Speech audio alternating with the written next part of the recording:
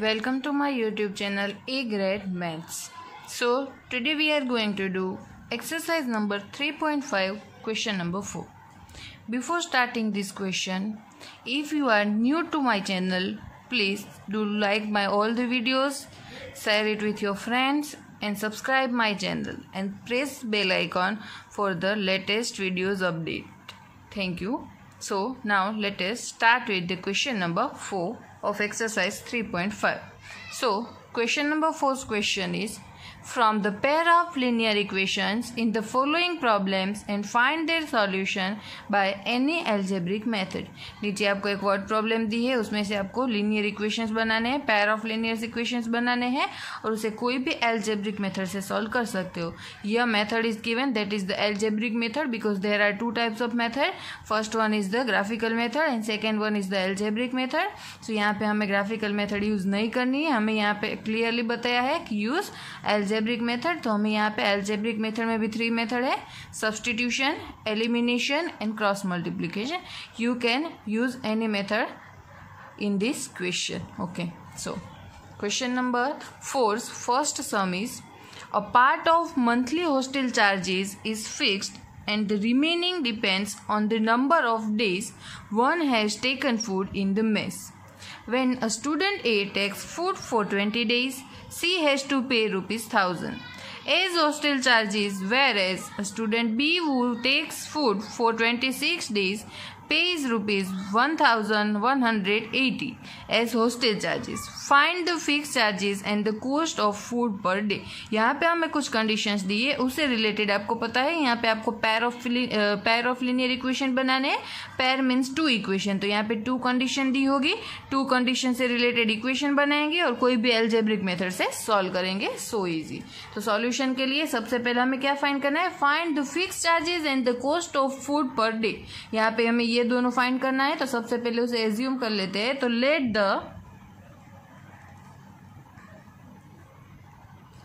fixed monthly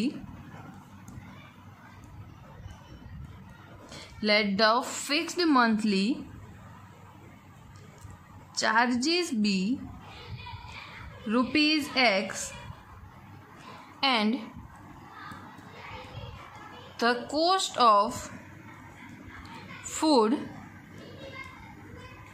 per day be rupees y.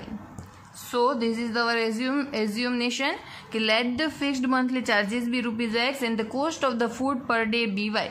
Now we have to make now we have to make pair of linear equations according the conditions.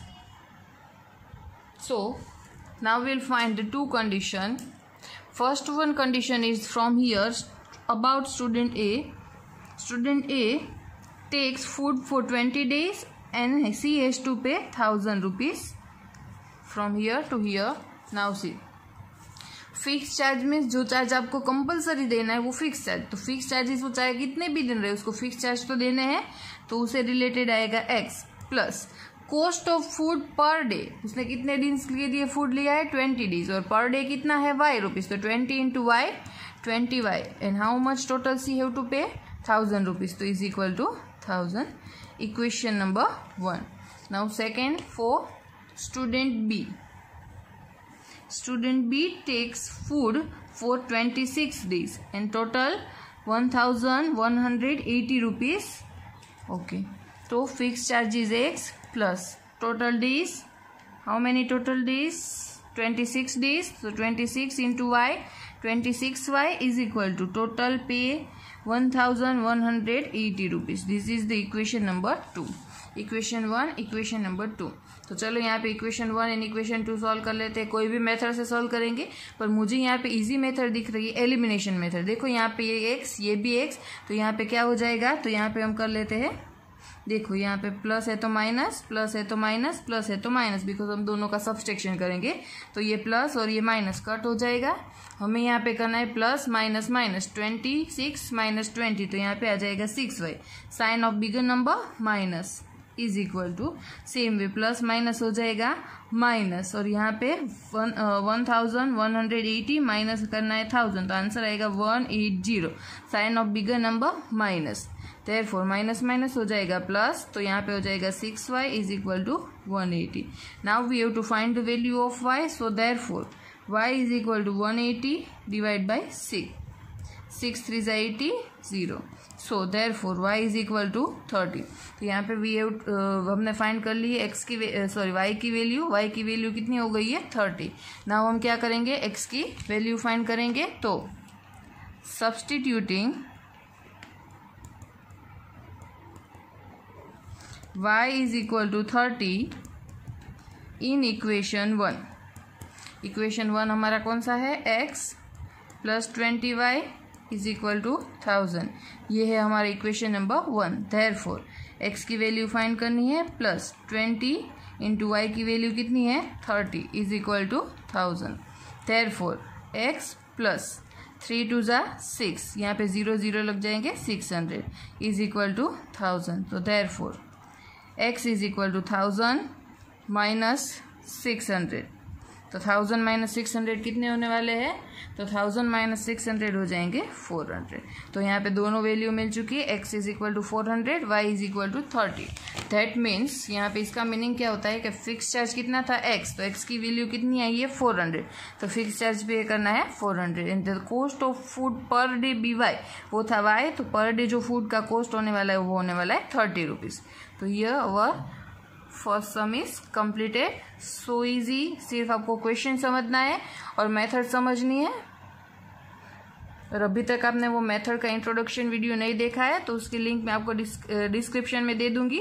वो video आप ज़रूर देख लीजिएगा, ताकि तीनों method आपके लिए बिल्कुल ईजी बन जाए।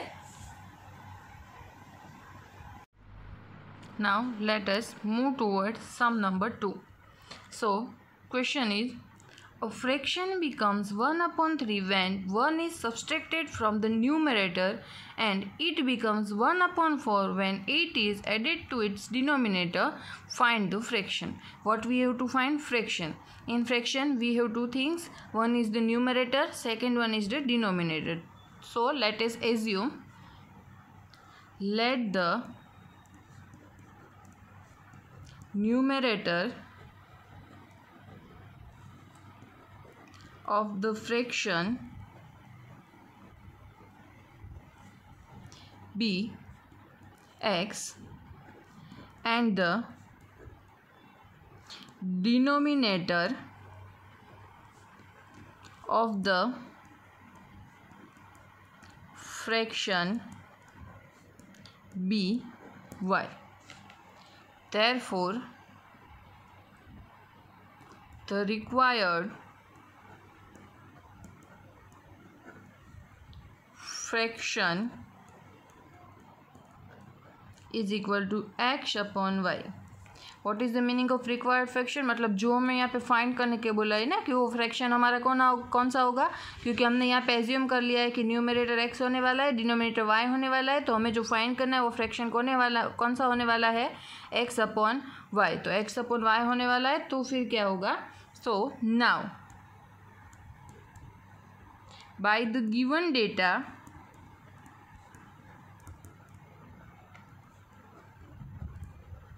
okay तो ना क्वेश्चन में देखते हैं कि फ़र्स्ट ऑफ़ ऑल क्या बोला है? Fraction becomes one upon three मतलब कोई एक फ्रैक्शन होने वाला है वन अपॉन थ्री कब वो वन अपॉन थ्री होने वाला है? When one is subtracted from the numerator numerator हमारा कौन सा है? एक्स उसमें से हम क्या करेंगे? वन सब्सट्रैक्ट करेंगे तो भी डिनोमिनेटर में कुछ नहीं करना है तो वो एज इट इज़ रहेगा वाई तो वो क्या होने वाला है? वन अपॉन थ्री अब हमें यहाँ पे देखो क्या चाहिए? लीनियर लीनियर इक्वेशन चाहिए ना? तो हम क्या करेंगे? क्रॉस मल्टीप्लीकेशन तो क्रॉस मल्टीप्लीकेशन करेंगे तो वाई मल्टीप्लाई बाई वन तो वहाँ पे हो जाएगा y is equal to three multiply x three x minus three one ज़ा थ्री चलो इसको इक्वेशन में प्रॉपर इक्वेशन में कन्वर्ट कर देते हैं तो देर फोर देखो three x is as it is रखते हैं वाई प्लस में से ले आते हैं माइनस में. तो थ्री उस तरफ़ जाएगा माइनस में से प्लस में तो ये बन जाएगा हमारा equation number one now second condition क्या दी है? तो देखें सेकेंड देखो it becomes one upon four अब फ्रैक्शन कौन सा बन रहा है? नाउ फ्रैक्शन कौन सा बन रहा है? One upon four but one upon four कब बन रहा है? When eight is added to its denominator उसका जो डिनोमिनेटर है मतलब कि वाई उसमें एट ऐड करना है तो न्यूमिनेटर रहेगा एज इट इज़ फिर से क्या करना होगा? क्रॉस मल्टीप्लीकेशन तो देखो देर फोर वन से मल्टीप्लीकेशन तो वो रहेगा y plus eight is equal to four multiply x four x तो देर फोर क्या कर देते हैं? Four x as it is रखते हैं वाई प्लस में से माइनस में is equal to eight equation number two now लिख लेते हैं equation one and equation two equation one कौन सा है? Three x minus y is equal to three second equation is four x minus y is equal to eight. अब देखो यहाँ पे अगर सब्सट्रेक्शन कर दे तो वाई कट हो जाएगा तो एलिमिनेशन मेथड इजी रहेगी। हाँ आपको अगर कोई क्रॉस मल्टीप्लीकेशन सब्सटीट्यूशन कोई भी मेथड इजी लगे तो आप उसमें अप्लाई कर सकते हो। तो यहाँ पे प्लस है तो माइनस माइनस है तो प्लस प्लस है तो minus minus y plus y cut हो जाएगा plus minus minus four minus three हो जाएगा one x but sign of bigger number so minus one x same way यहाँ पे प्लस माइनस माइनस हो जाएगा तो यहाँ पे हमें करना है एट माइनस थ्री तो यहाँ पे एट माइनस थ्री हो जाएगा five sign of bigger number minus there four minus minus plus one into x हो जाएगा एक्स तो एक्स इज़ इक्वल टू मिल गई है वैल्यू हमें फाइव नाउ एक्स की वैल्यू मिल गई है. नाउ क्या करेंगे? उस वैल्यू को सब्सटीट्यूट कर देते हैं. Substituting